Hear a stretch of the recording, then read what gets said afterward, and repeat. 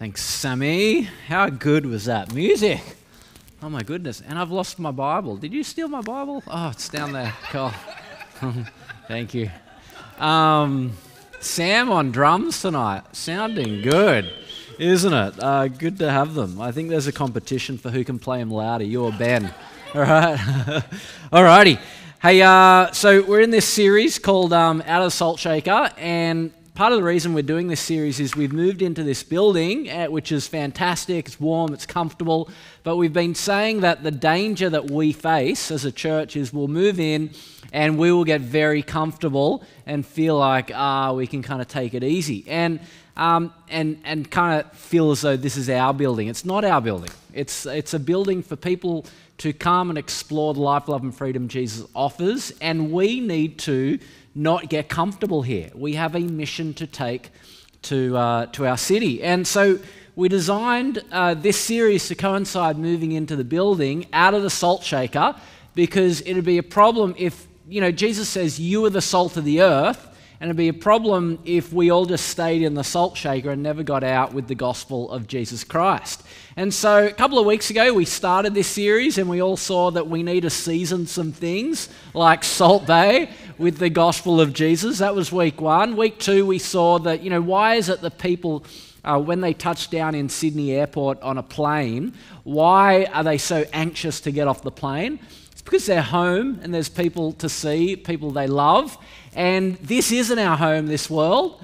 We're waiting to go home to be with the Lord. And we want others to be part of that great and glorious day when Jesus returns for us. And that ought to get us out of the salt shaker and into the world. And then last year we looked at kind of, we, we peeled back the curtain on reality and saw what is real reality. And in the book of Revelation, what we saw was at the center of absolute ultimate reality is a lion that is actually a lamb that's been slain. That's the picture we have of Jesus Christ. That's the metaphor. He's a lamb who is slain so that by his death we might be forgiven. And on the throne of heaven is not a dictator, it's the one who laid his life down for us. And we want others to come into relationship with him. So that's where we've been. And today we're going to have a look at what it means to be spirit filled. Where do we get power to witness from Acts chapter 2? But before we got, get there, as we've been thinking about this, you know, this series is designed to get you out of church into the world with the gospel of Jesus. And that kind of assumes that we know what the gospel is and that you could actually articulate in words what it is that you believe about life, death, resurrection, and return of Jesus. So I thought before we go any further, we should stop and rehearse the gospel together. Uh, so I'm going to ask a whole bunch of questions about what, what's good news about Jesus' life, death, resurrection, ascension, and return. And um, this isn't going to be rhetorical. I'd love you to share. This is going to be a time of sharing. So, Vine Church, what is good news about the life of Jesus? Who wants to share? What's good news about, what's such good news about the life of Jesus? He lived a perfect life. And why is that good news? Because we definitely do not. Why is that good news? keep going. yeah, why? Why? Does someone else want to take over there? Why is it good news that he lived a perfect life when we can't? Because. Say again? Because we need a savior? Yep. What, what else good news about the life of Jesus Christ? He was God, uh, so we can know God and God hasn't stayed at a distance. James? Say again? Well, we're going to get there in a sec. Let's hold on. Just talking about his life at the moment. But uh, what else about the life of Jesus? What's good news about it? Full of, full of love. Yeah, it's, it's God's heart poured out for us. Uh, we see his love Uh, more than if we just had, you know, God loves you. Yeah, great. But you see Jesus. Wow, he does love us. Any, what else is good news about the life of Jesus? It's God, yeah, God come down to earth to be with us. Yeah, and what's good news about him being a human in a human body? Yeah, he's not over there, he's here. Yep. What else good news about him having a human body? Hey? He's relatable. Yep. What else?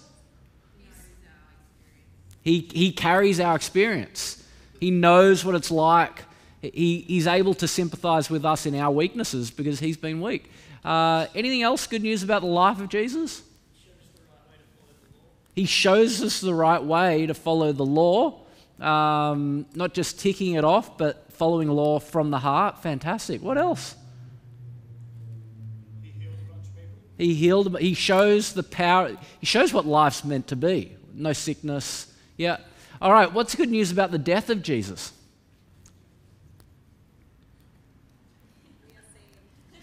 we are saved by his death. Yeah. Um, why are we saved by his death? What's good news about that? He died for our sins. What else is good news about the death? He took our place. Yeah. What else is good news? Yeah. Shows that well, that's the resurrection. We're going to come to that. Sorry, Caitlin. what else is good news? Well, we're going to get to his resurrection in a second. What? We're washed clean by his blood so that your past no longer defines you or defiles you, but you're clean in God's sight. What else is good news about the death of Jesus? It's a sign of, you I mean, there's, he can say, I love you, but he actually dies as proof. Yeah, what else is good news about his death? Yeah. Yeah, yeah, it's the final proof that he is the Son of God. What else is good news about the death of Jesus? Yeah, he satisfies the wrath of God and he, he absorbs it so that God's wrath wouldn't burst out on us for our sin. What else good news about the death of Jesus? He destroys Satan because Satan's accusation against you, Brandon, is you're a terrible, evil sinner. You deserve to die and be condemned by God. See, Satan has power over us by the accusation, but by dying in our place for our sins, that accusation's taken away so that Brandon is counted righteous in God's sight. So Satan's defeated. Okay, what about the resurrection of Jesus? What's good news about that? Caitlin, go. Come on, let's do it. he shows death is not the end. Yeah, what else is good news about the resurrection? He defeats death.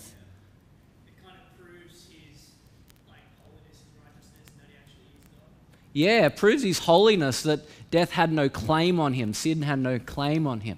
And it proves that he's, um, that actually what happened on the cross worked. Like if he's like, yeah, I'm going to die for you, and then disappears, it's like, well, did that work? It's like, no, it worked. God raised him from the dead. What else is good news about the resurrection of Jesus? It's a, a new beginning. Yep. New hope. Yep. A new covenant. Yes. What else is good news about the resurrection?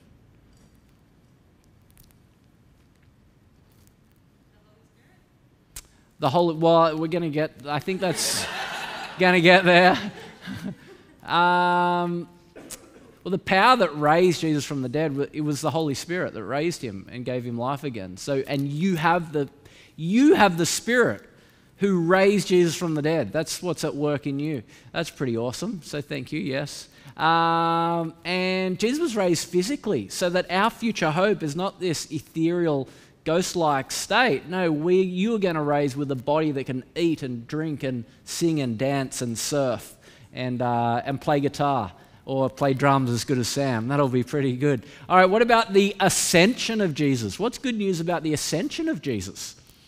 The forgotten doctrine. Uh, you know, we, we say this uh, crucified under Pontius Pilate, was buried. On the third day, he rose again and is ascended. So, what's so good news about the ascension?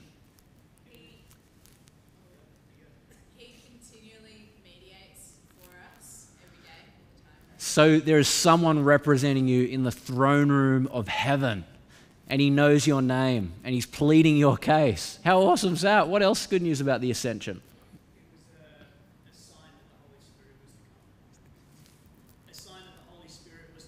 Yeah, remember he said it's better that I go away so that I can send the helper. If he didn't go, he wouldn't send the helper.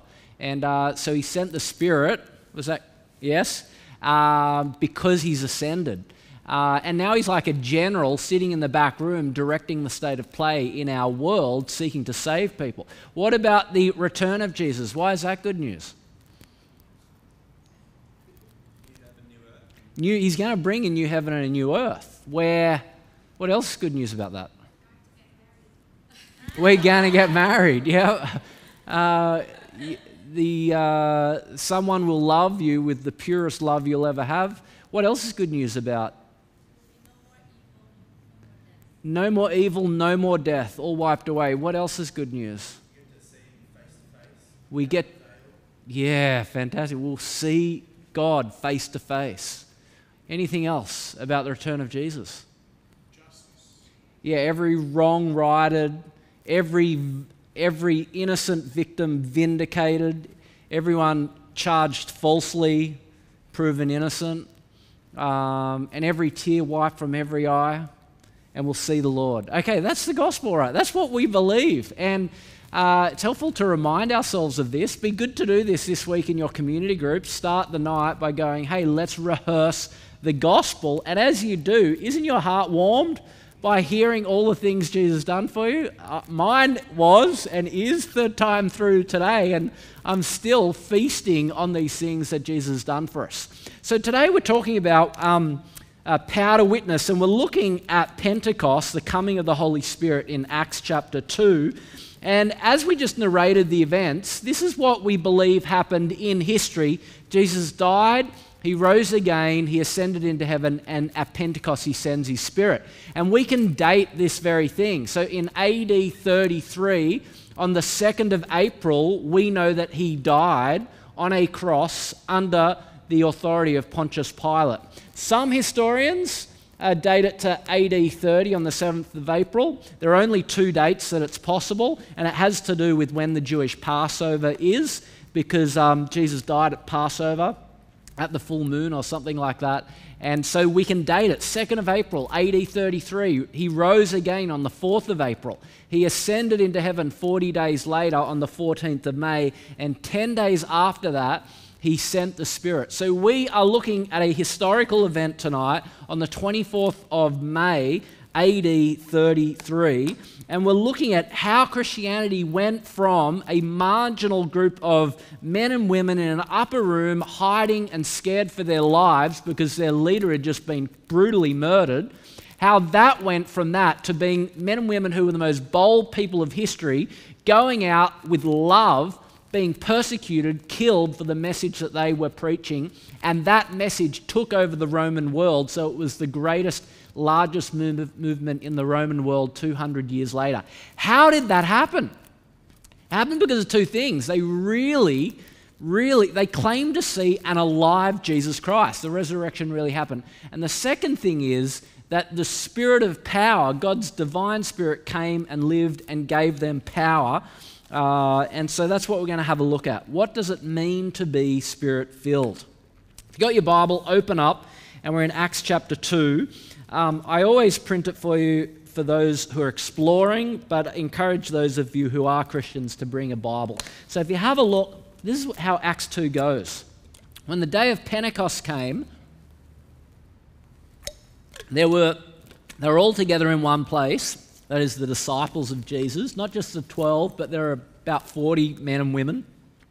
Suddenly, a sound like the blowing of violent wind came from heaven and filled the whole house where they were sitting. They saw what seemed to be like tongues of fire that separated and came to rest on each of them. All of them were filled with the Holy Spirit and began to speak in other tongues as the Spirit enabled them. Now, the key thing that I want you to think about today is what is the essential mark of a spirit filled person? Notice the Spirit comes on them and they start speaking in tongues. And many churches would say the essential mark of a spirit filled person is they are able to speak in tongues, uh, other languages. And um, the problem with that is the Bible actually teaches the opposite. So in 1 Corinthians chapter 12, the Apostle Paul asks the question do all speak in tongues? And it's a rhetorical question, but you're meant to answer it. no, not all. Only some have that gift. And he goes on do all work miracles? No, not all. Particular people God gift differently. And the gift of tongues is not given to all. Uh, so it isn't the essential mark of a spirit filled person. If it's not the essential mark of spirit, what is the gift of tongues? Um, we need to kind of understand this. It's mentioned in the book of Acts a couple of times, and then in the book of uh, to the letter of the Corinthians. And in Corinthians, uh, the gift of tongues seems to be a heavenly language. Uh, so, a gift of tongues is a supernatural gift from the Holy Spirit where you are able to speak a language which you've never learned. That's what the gift of tongues is. And in 1 Corinthians 12, 13, and 14, there's a particular kind of this gift. Do you remember Paul says, If I speak in the tongues of men or of angels, uh, but do not have love, I'm only a resounding gong or a clanging cymbal. So he says, If I speak in the tongues of angels, now it could be he's using hyperbole that is, wow, Toby, that sermon was a banger. That was awesome. You were like speaking the language of angels, hyperbole for that was really good. Uh, my, my daughter would say slay or something like that, right? but the tongues of angels is you've slayed it, right? Uh, it could be hyperbole, or maybe it actually is a heavenly language. Later in 1 Corinthians 14, the, uh, Paul says that um, a person may pray in a tongue, and when they do, their spirit prays, but their mind is unfruitful. And some Christians testify to this experience of praying to God in a language that they have not learned. They may not even understand the language that they're speaking to God, but it has some kind of benefit to them. Now, I've never experienced this. Um, I have no first hand experience of this. Some of you have. So, what are we to do with this? Well, just because I've not had an experience of it, uh, I shouldn't sit in judgment on those who do. Paul says in 1 Corinthians 14, don't forbid speaking in tongues, but if anyone speaks in a tongue, two or at the most three should speak, one at a time, and someone must interpret. And if there are no interpreter, the speaker should keep quiet in the church and speak to himself and to God. So that's our practice at Vine Church. Um, I don't know whether you speak in tongues. I don't even know whether my staff team speak in tongues. Have never bothered to ask them this question. Um, and so we would happily actually have anyone come up and share a message in tongues so long as there's an interpreter, or when there's a time of sharing, or when there's question time. If you want to ask your question in a tongue, and you can find, and sorry, this isn't a joke, it's not meant to be a joke, but uh, if you can find someone to interpret, we'd, we'd literally be open to that. Uh, we mustn't forbid it. Um, so that's, that's one version of tongues. But here's the thing it seems to be what's going on in Acts chapter 2. It's a different kind of tongue or language uh, being used in Acts chapter 2. In Acts 2, when the Holy Spirit's poured out on the disciples, they don't start speaking in a heavenly language, they actually start speaking in many, many earthly languages. So pick up chapter, five, uh, chapter 2, verse 5. This is what we read. Now there were staying in Jerusalem God fearing Jews from every nation under heaven. When they heard this sound, a crowd came together in bewilderment because each one heard their own language being spoken. Utterly amazed, they asked, Aren't all these who are speaking Galileans? That is, are from the region of Galilee in Judea which they spoke Hebrew, Aramaic, maybe a bit of Greek. They're like, how are they speaking in our language? And then look at where they're from. Uh, then how is it that each of us hear them in our own native language? Parthians, Medes, Elamites, residents of Mesopotamia, Judea, Cappadocia, Pontus, Asia, Phrygia, Pamphylia, Egypt, and parts of Libya near Cyrene, visitors from Rome, both Jews and converts to Judaism, Cretans, and Arabs, we hear them declaring the wonders of God in our own tongues. Amazed and perplexed, they asked each other, What does this mean? So, this is um, at Pentecost. Pentecost was a Jewish festival, a very large festival. And as a result, the Jews from all over the Mediterranean, the Middle East, they flooded back into Jerusalem because the Jews had been scattered, but they come back for major feasts. So, you've got people from Rome, you've got them from Parthia and Media, which is modern day Iran, you've got Elam and Mesopotamia, modern day Iraq. Arabia, Egypt, Libya, Cyrene, Crete, and they all come from their different regions. Maybe they speak a bit of Hebrew, maybe something else, but they have their own uh, languages back where they've come from. And they come into Jerusalem, and what's just happened in Jerusalem is Jesus lived this perfect life. He died our death, he rose again and has ascended into heaven. And the disciples of Jesus, men and women who are there in Jerusalem, they want their brothers and sisters to know the Messiah has come. So they start speaking to them, and the Holy Spirit descends and they speak, and the Holy Spirit gives them the supernatural gift of being able to speak the languages of their native regions. And it's incredible because Jesus died, He's risen, He's ascended. What is the, what, what's the job now? The job now is to make that message available for the rest of the world. So, the first miracle the Holy Spirit does is give them the ability to speak the language to pass on the message so that they get out of the salt shaker and into the world with the good news of Jesus Christ. Now, here's the question that is a supernatural miracle that the Holy Spirit has done by giving them this other language. Could he do this again today? Of course, he could do this today. Imagine you're traveling in, um, in Asia and you come across uh, this Chinese guy and uh, you sit down, he can't understand English, and you want to share the gospel with him. He speaks Mandarin, and boom, the Holy Spirit gives you the ability to speak Mandarin so that you might be able to share the gospel with this guy. Could God do that? Heck yeah, He could do that. Has God promised to do that? Unfortunately, not. And that's why we send missionaries to language school before we send them overseas. But gee, it'd be cool if God did uh, do that. Could He do that? Of course He could.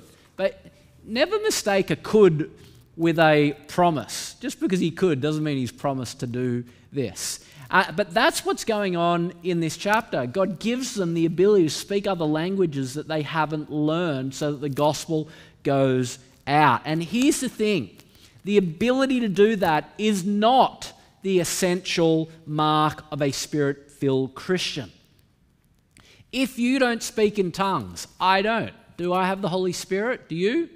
Yes. Well, then the question is well, how would you know that you have the Holy Spirit? What are the essential marks of the Spirit? I'm going to give you three, um, uh, and uh, here are three from um, two from the, the rest of the New Testament and one from this passage. And the first one is this uh, the essential mark of that the Holy Spirit's in your life is if you have faith in Jesus. So 1 Corinthians 12 says, No one can say Jesus is Lord except by the Holy Spirit. So if you call Jesus your Lord, and don't just say it, but you mean it, that you place your life under the lordship of Jesus, you embrace him as the one who rules your life, and you follow him and you trust him, that is the evidence that the Spirit is at work in your life. And uh, I take it if you've done that, God's at work in your life. You're filled with the Spirit. Praise God. The second um, sign that the Spirit is filling someone is that they live a holy life. So in Galatians 5, the Apostle Paul says, So I say, walk by the Spirit. How would you know if someone were walking with the Holy Spirit? Well, he tells you, walk by the Spirit, and you won't gratify the desires of the flesh. So, what is the distinguishing mark of a person walking by the Spirit of God? They don't give in to their old, selfish, sinful nature. They're at war with that. They don't make peace with sin in their life. They may stumble, but they repent, they turn, they cling to Jesus, and they ask Him for help and power to say no. So they don't gratify the desires of the flesh, and they walk in a life of love. So notice that. But the fruit of the Spirit is. So the fruit, what's the evidence? What's the overflow of a person indwelt by the Spirit? The fruit of the Spirit's love and joy and peace and forbearance, kindness, goodness, faithfulness, gentleness, and self control. How would you tell if a person is filled by the Spirit? Well, those things would be in abundance love, joy, peace, patience. Kindness. Now, when I hear some people speak about a spirit led church and wanting to be in a spirit led church, I think they mean that, I think they mean a creative church or an emotional church or a spontaneous church or a dramatic church. Now, I love creativity, I love spontaneity, I love um, emotions, I love the dramatic, but God doesn't tell me that those things are the sign of the Spirit. Um, you know, sometimes, uh, you know that the pad that we play during the music. Um, I heard someone, I heard someone call it the the sound of the Holy Spirit recently. it really irritated me. I don't know. Was it someone in the front row? No, it was morning church. It re- um, and no, it isn't. Do we have the sound? I, Jeremy told me not to get them to play it. We don't have it. Anyway, it goes like this. hey! the Holy Spirit just. that is not the sound of the Holy Spirit, right? That is an electronic sound which someone created, which makes our music sound amazing, but that is not, nor is the smoke machines or fancy lighting. Now, that's a joke, but some people really think oh, Holy Spirit's not here unless we have those things. That is absolutely ridiculous. You see, what is a person who is being led by the Spirit of Jesus doing? What is the Spirit, what is the Spirit of God leading us to? He's leading us to become like Jesus. And what does Jesus look like? He's full of love, joy, peace, patience, forbearance, kindness, self control. And so when you're a spirit filled person, you're becoming like Jesus. You know, it's no wonder that the Spirit of God is usually known as the Holy Spirit. Not just because He is holy in His character, but because His goal for you is that you'd become a holy person, a person who is wholehearted in their devotion for Jesus Christ. That you'd be like Him, not just hmm, right? Uh, so there are the two uh, signs of a spirit filled person. And the third sign is back in Acts chapter 2. The third mark of a spirit filled person is they prophesy. Now, um, by the way, we are going to do question time after this. Uh, and question time, if you go to Slido, sli.do, and the code is VINE, you can ask a question on any of this. I realize tonight, tongues, prophecy, maybe there are some questions on this stuff. The third essential mark of a spirit filled Christian is that they prophesy. Now, what's interesting is when Peter stands up after the rushing wind, the tongues of fire, them speaking all of these other languages, and people think, whoa, what's going on here? He stands up and he explains what's going on by quoting the prophet Joel. So in Acts chapter 2, verse 17, Peter stands up and, and quotes Joel saying, in the last days, God says, I will pour out my spirit on all people. Your sons and daughters will prophesy. That's what he is saying is happening in Jerusalem when they start speaking other languages. And my problem is, I think we focus so much on the manner of their communication. Wow, they're speaking in other languages. What does that mean? Ah! And we miss the the message that they're speaking. So come back to Acts 2, verse 4. Pick it up again. All of them were filled with the Holy Spirit and began to speak. Notice that connection. Filled, they start talking. And you'll see that over and over in the Acts. Uh, in Acts, they began to speak in other languages as the Spirit enabled them. Utterly amazed, they asked, Aren't all those who are speaking Galilean? How then are each of us hearing them in our own native language, in Iranian, in Iraqi, in, in, in Greek, whatever. We hear them, and here's the key thing declaring the wonders of God in our own tongues. And I think we get too excited about the manner of their communication, speaking another language, and we miss the message. See, what are they talking about? The wonders of God, the mighty works of God in salvation. So they've just seen Jesus die, rise, ascend to heaven. What do they want to talk about? They want everyone to know that Jesus is the Messiah, the one who is able to save us from their sins. And the Jews come into Jerusalem for Pentecost. The Spirit descends, and the first thing they do, they start talking. Because that's what a spirit filled person does. The essential mark of a spirit filled person is that they declare the wonders of God. They, they don't stop talking about the life, death, resurrection, ascension, and return of Jesus Christ. They are joyfully obsessed with the gospel. And they just start talking in many languages. And that's why the people think they're drunk. Amazed and perplexed, pick this up, they ask one another, What's, what does this mean? They're seeing the disciples speak languages they've never learned. And the Jews in Jerusalem, they didn't care about the nations. They, they, they didn't go to Spanish school because they were thinking of having some sexy trip to Spain. no, they were very parochial. And so they go, so some, however, made fun of them and said, they've had a bit too much wine, right? Now, I, um, I remember when I first drunk uh, alcohol.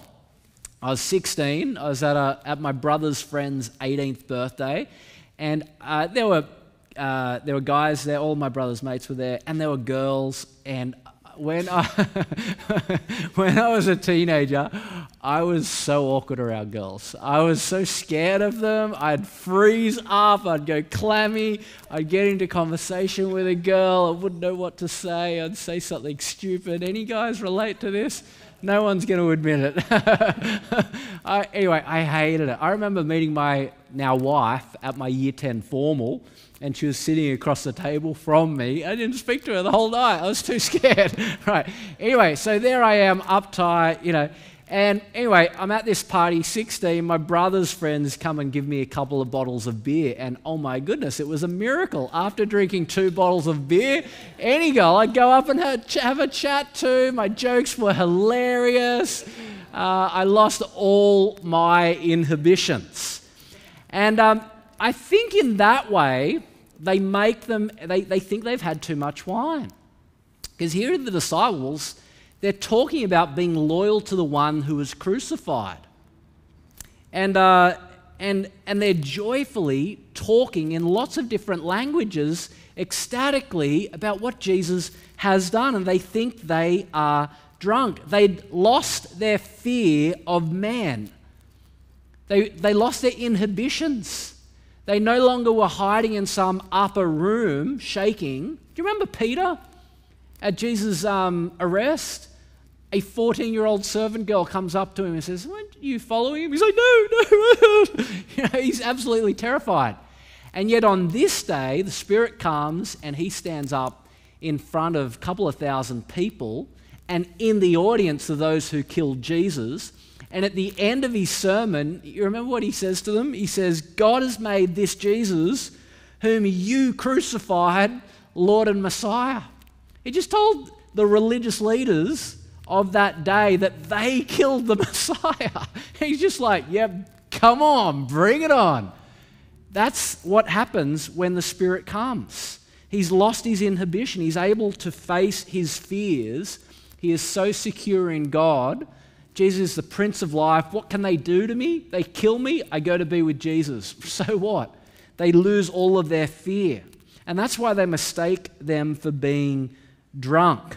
That's the similarity. But there is a difference. Being full of the Spirit is different to being full of alcohol. And the difference is, you know, um, alcohol is a depressant so it, um, doesn't make you necessarily sad, it can make you happy, but uh, alcohol depresses your brain function. The way alcohol makes you uninhibited is by, um, is by making you oblivious to what's really going on. Uh, and so you lose, uh, you, you enter oblivion, you're just at this state, and you don't really care what people think because you've been obliviated. You're, just in oblivion. Ah.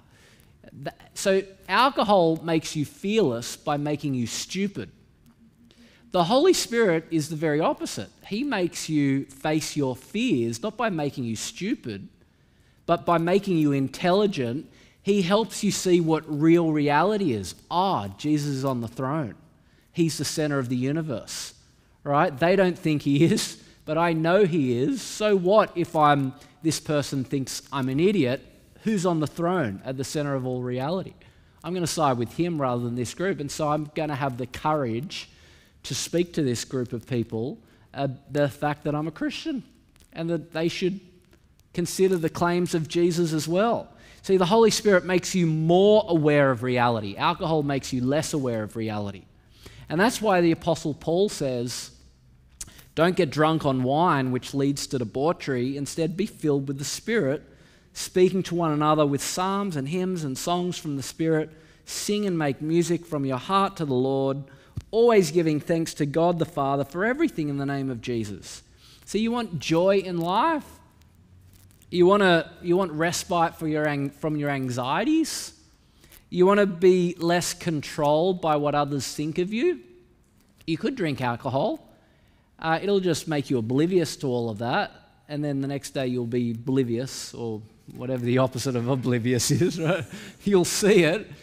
Um, or you could rely on the Spirit and fill your heart with thanksgiving for what God has done for you. And from that, you will become a more secure person and less worried about the future because God's got it, and less concerned about what people think of you because the God of heaven, you know what He thinks of you.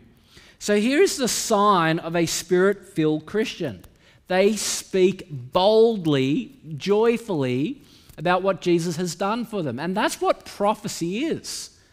We kind of think prophecy is predicting the future, and that's a very rare thing in the Bible.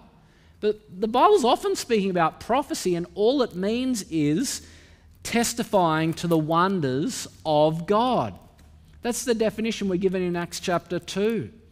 And that's the, that's the, if you were spirit filled, how would you know? Well, you bow before the lordship of Jesus you live a life of love, saying no to sin. And thirdly, you speak about the wonders, the mighty acts of God that He has done in your life and in history. That's the sign a person is filled with the Spirit. Not that they can speak in tongues, that's a certain gift.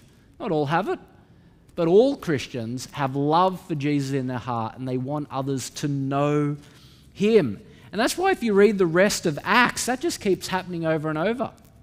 So in Acts chapter 4, Peter is arrested by the Jewish leaders. He's put in jail for a night. The next morning, he's hauled before the whole Sanhedrin, which what uh, a month or two earlier had killed Jesus. And they get him up to answer why he's preaching the resurrection of Jesus. And he tells them. He doesn't shrink back, he doesn't hide. And they say, Stop talking. He says, Judge between uh, heaven and earth whether it's right for us to, to obey you or God. We're going to obey God. He's just like unflinchingly testifying to Jesus. And then in Acts chapter 6, one of my favorite characters in all the Bible, Stephen. Are there any Stephens here? Good name. So I'm not going to mock you if you are a Stephen. You're never too sure, though, are you? Uh, but Stephen, you remember Stephen? Full of faith in the Holy Spirit. That's what we're told in Acts 6. And then what happens to him a chapter later? He gets up and he preaches the longest sermon in the book of Acts, testifying to the mighty acts of God in history. And at the end of it, the Jewish leaders, the Apostle Paul, uh, at that time, they kill him, they stone him to death. And he knows it's coming. And he keeps, keeps declaring the wonders of God. It's not that he wasn't, didn't have fear. Don't get that from tonight. It's not that the Holy Spirit will take away the fear. The Holy Spirit will give you something that enables you to face that fear and push through it. And it is, to, to be honest, I get really scared talking about Jesus. Like, I, personally, I find preaching in a church to the choir very easy. This isn't that hard. But when I'm out in the world, at meeting new people, and the first question they ask is, What's your job? It's like, I find it really hard. I was shy as a teenager, I'm shy as an adult. And I find it very hard. And the Holy Spirit won't take away my shyness or my fearfulness, but He will give me love for people. and their deepest spiritual needs so that I actually start talking about the wonders of God that has captured my heart. And if you're a Christian, that's true for you. So get out of the salt shaker, right? Uh, I like what Ray Ortlund, an American pastor, says. He says, So, what's the proof that the Spirit is being poured out on us? The voice of the church rings with prophetic clarity. The people of God are no longer passive, intimidated, unresponsive, or uncertain. They're no longer preoccupied with themselves, their convenience, their comfort. They're no longer complaining, whining, griping. Instead, they become outspoken in God's praises and gospel truth, declaring the wonders of God. So, are you a spirit filled Christian? I don't know how you would have answered that. Uh, what's the sign of you being a spirit filled? I don't know how you would have answered that before tonight. But um, here's the test. Have, if you've been drenched from on high, you will believe in the Lord Jesus, place yourself under his authority, seek to repent of sin, live a life of love, and you won't stop speaking about the wonders he has done in saving you. That's what a spirit filled Christian looks like. Okay, the second thing we're going to do tonight is um, I want to just get a little bit practical, and this that was the long point. This this is the funner point. Um, how might we live this out? I realised the last couple of weeks it's been more kind of big picture, a lot of more convictions. Who are we? What is God doing in the world? But I want to kind of land today with something a little bit more practical. So, how might we live this out? First thing is here's a report which McCrindle Research put out every couple of years. McCrindle is one of the largest uh, demographic researchers in Australia today. And Mark McCrindle, he's a Christian guy, and he publishes this report, Australia's Changing Spiritual Climate, every couple of years. And in it, here was one of the questions he asked last year. If you were personally invited by a friend or family member to attend church, how likely is it that you would attend? Now, look at this 16% of people are extremely likely if you invited them to church. Another 18% are very likely. Another 16% somewhat likely, and another 18% slightly likely. Only 33% of people you have no hope of ever getting to church. But what's that? Is that uh, 66% of people you have a chance of inviting them to church. And notice, what is that? Like, uh, I can't do the maths on the top of it. 32? 32% of people are very likely or extremely likely to come to. Now, is that, do you feel that? Because I don't. I'm way more pessimistic when I'm in conversations with my neighbor about, uh, you know, I, I'm scared to bring up. But there is an amazing amount of openness in our community to talking about things like faith and Jesus and God. Although people are ticking no religion, what they're actually saying is, I don't identify with any denomination or any organized religion. They're not saying, I've stopped believing in God. You have an opportunity, and God's Spirit's with you. Get out of the salt shaker. Now, I want to have a look at this in a little bit more detail because if you break those stats down into the generations, you know, how do you reckon this would uh, fly? So, uh, I want you to have a guess. Uh, the percentage extremely or very likely to attend a church service if they were personally invited. Which of the generations do you think would be more likely to attend a church service than uh, the others if you personally invited them? Who wants to hazard a guess? Which generation most likely, which least likely? Hey? Gen Z most or least? Most likely? Why do you say that, Sam? young people are open. Cool. And least likely? Hey? Gen X. Gen X. All right. Do we have any Gen Zs here? No. So we're all bunch. Oh, kind of, maybe. I don't know. Gen Z. No, we're, I'm a millennial. I don't. I'm Gen Y. 97. Anyone? Okay, one Gen Zer over there. A couple of Gen Zers. Cool. Great to have you here, guys. Okay, have a look at this. Okay, 44% of Gen Zers are very likely or extremely likely to attend church if you invited them. That is crazy. And Gen Y, this is my age group, 39% of people.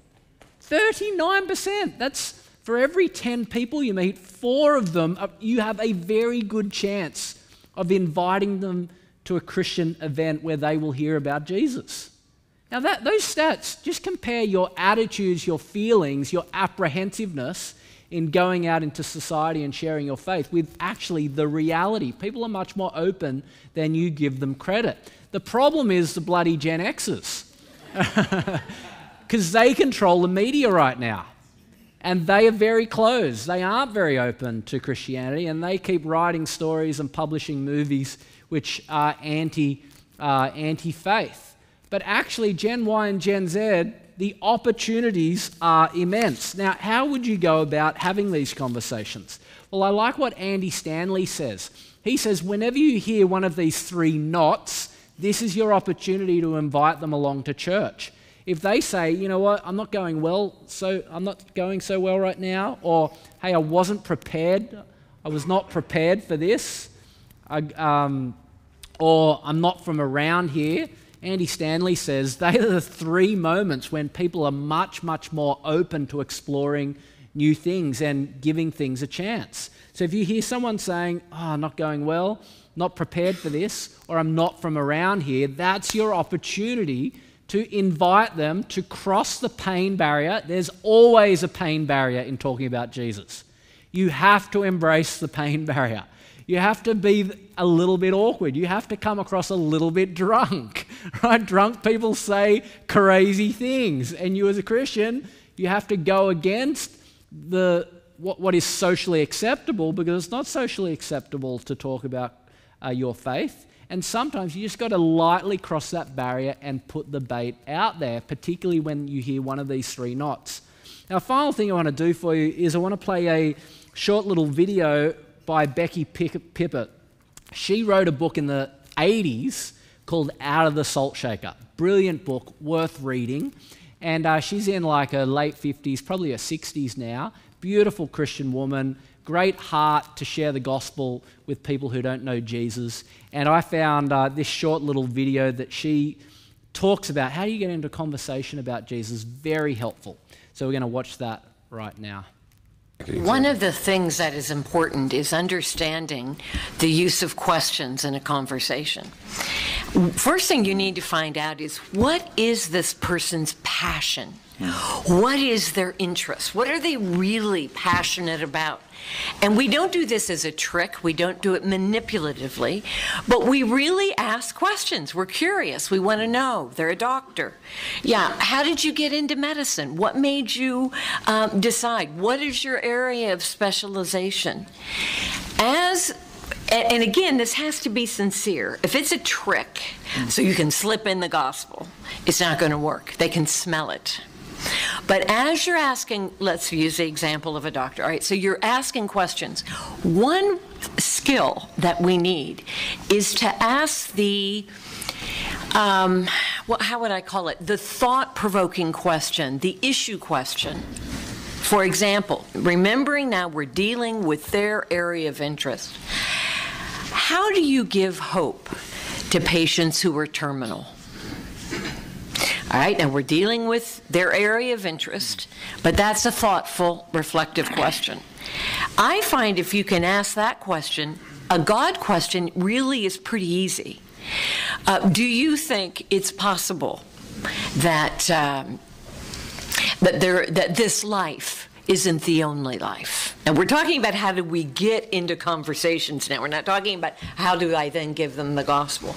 I was talking to a, um, uh, a student who was studying art in England, and um, this might have been America. Actually, I think it was America.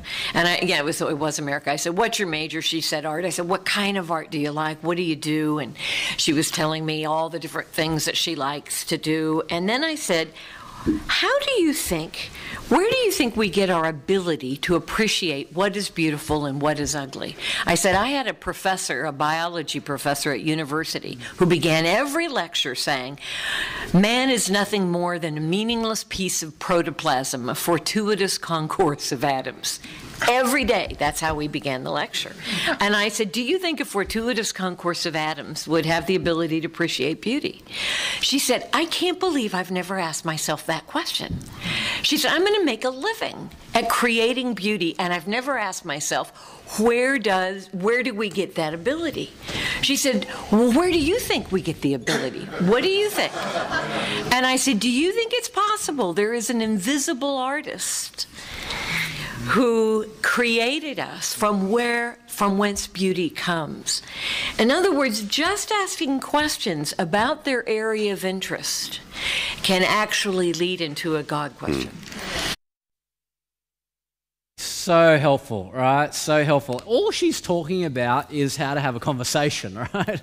It's not it's not rocket. It shouldn't. We, there should be a class in high school about how to have a conversation with someone, right? Because we're all rubbish at about rubbish at it. She's just telling you how to be human. And even if you're not a Christian here tonight, you ought to actually value this because surely you're able to see uh, that any healthy society should be able to talk about what they deeply believe. And we're living in a time where you're not able to do that. Actually, that's private. Don't ever talk about it. And so just notice what she said here.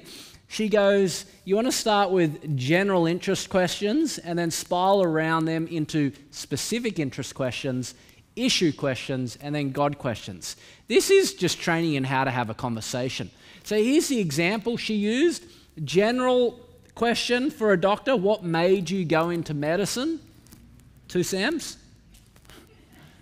Specific question What's your area? Why did you choose it? What are the challenges? So, this is just any com- this is what you ought to be doing in any conversation, right? You're just trying to get to know them. Okay, general start in the big picture. Ah, that's interesting. I'm taking an interest in you. Specific question. Then issue. Ah, how do you give hope to patients who are terminal? And that's the harder question to come up with. And then she said, as soon as you've asked that question, it's not so hard at that point to bring up a God question, which is what hope would it give you if we knew that God is real and there's a life beyond this one? Problem is, um, I can't give you a list of questions to ask every possible person in the world. But you've got to be a lover of people, genuinely interested in them and how they think, think what makes them tick. Uh, so that you might draw them into conversation. You are a spirit filled person. God has sent you out into the world with a message, and you're not on your own. God's with you in this process. And He longs for you to be of use in pointing people, bringing people from death to life. And as a result, you've got to get out of the salt shaker. It's nice in here, it's comfortable in here, it's safe in here. But you need to get out into the bad, big bad world with the good news of Jesus because it holds the promise of life and love and freedom for people. Let me pray. Heavenly Father, we thank you that the Lord Jesus Christ came from heaven to earth uh, with all its danger, that we might um, come to know the life, love, and freedom that you have for us. And we ask that you might put a rocket under us, that we might go out boldly talking about the mighty acts of your salvation. And give us wisdom and skill as we do that. Keep us from being the arrogant, know it all Christian. Help us to do it with love and gentleness and wisdom, that people would know that we deeply care about them. Keep us from pushing people and imposing upon people what they're unwilling to talk about. But help us to find opportunities to draw people out to talk about more things that are meaningful in life. And give us boldness and joy as we do that. We pray in Jesus' name. Amen.